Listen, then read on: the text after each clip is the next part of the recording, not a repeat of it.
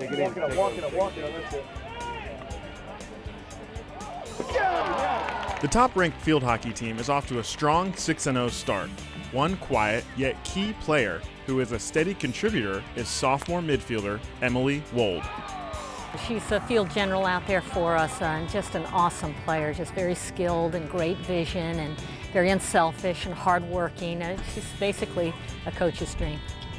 Well, I like to work hard and I'm not the most finesse player or have the fanciest stick skills, but I think I see the field pretty well. She's very inventive, she, she's very direct, she, she likes to get on the ball, she likes to make other people look good, so everything she does will be for the team.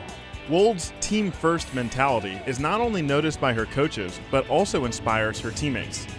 Wold has been elected as the team's vice captain, the first sophomore to receive this honor in recent memory.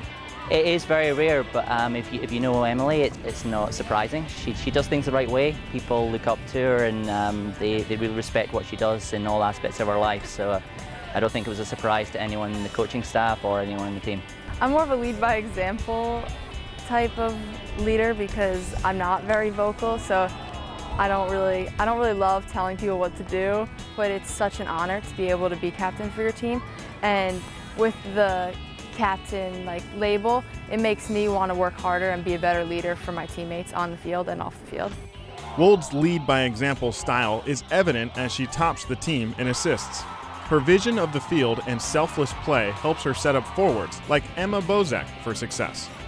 Well, I think it's just because she's so unselfish and hardworking. So she does the unselfish leads and is always looking to set other people up and half the time never even thinks about setting her, herself up, but obviously it helps us tremendously when she can feed us all over the field. Wold and Bozek are not only Tar Heel teammates, they also play together on the U21 national field hockey team. We went to Germany for the Junior World Cup and we placed seventh, which we were happy with, but we still wanted better. Um, and that's very much the type of person that Emily is. She's always striving to be better and to be the best that she can be. Um, but we were proud of some of the things we accomplished over there. This summer, Wold was also invited to play with both the senior national team and the junior national team. On the senior team, it was such a new learning experience for me because the girls have a lot of experience playing and they're all unbelievable players and just, I mean, it's playing at the highest level. So I learned a tremendous amount. So then once I got to like experience that, then taking it over to the junior team, I felt more of a, I wanted to put on more of a leadership role and show what I've learned from the senior team.